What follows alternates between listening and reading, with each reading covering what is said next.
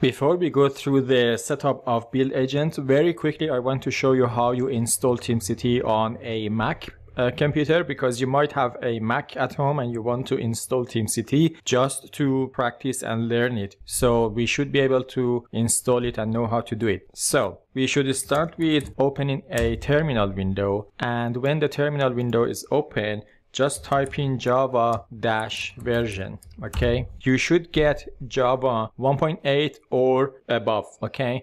If you don't get anything that means you do not have java and you need to install jdk so if you don't have java use my famous technique which is unleashing the power of google and just searching for download java. You can optionally add oracle and it gives you the download page of Oracle.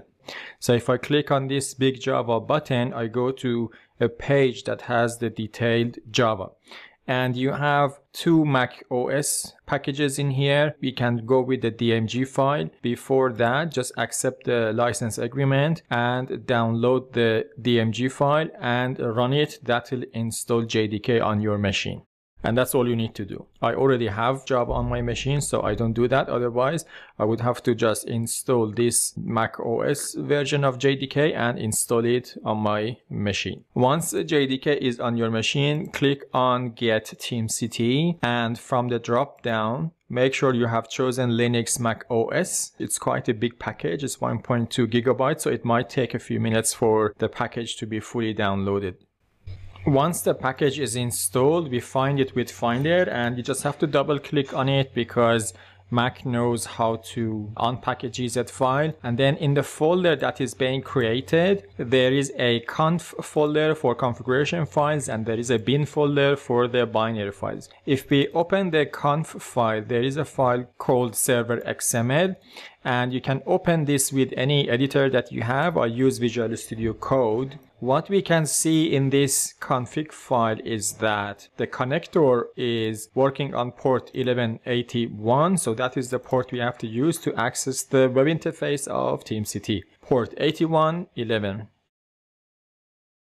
And after that, we just have to go back to bin folder and open a terminal inside bin folder if I get a list, you will see that we have all sorts of files. The interesting thing is that you see there are batch files and sh files. So there is, for example, startup.bat and startup.sh. That means that the package we have received is basically just a Java application that can be executed both on Windows and Mac OS. The package we need to run is run all sh.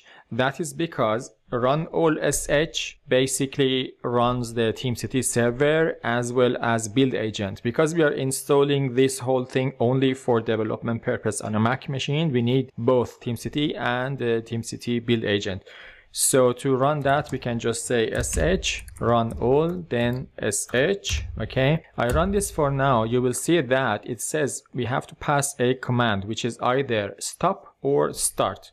Because i'm going to start the teamcity server and the agent i just say run all.sh start and that will start the process of teamcity now we need to go to browser and go to http localhost 1111 and then teamcity setup comes up. We need to click on proceed and wait. And because again we are only setting up this for the learning purposes on the local machine it's fine to use the internal database. We click on proceed and we wait until all the components are initialized Depending on how fast your laptop is, the uh, license agreement page, this page will come up and then you have to read it carefully, make sure that what it says makes sense to you, you are not abusing the service and then click on continue button and then you will go to setup admin page where we have to create an admin account.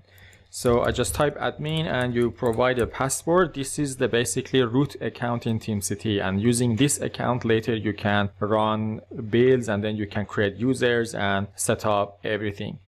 So as you see TeamCity is up and now I can basically start using it.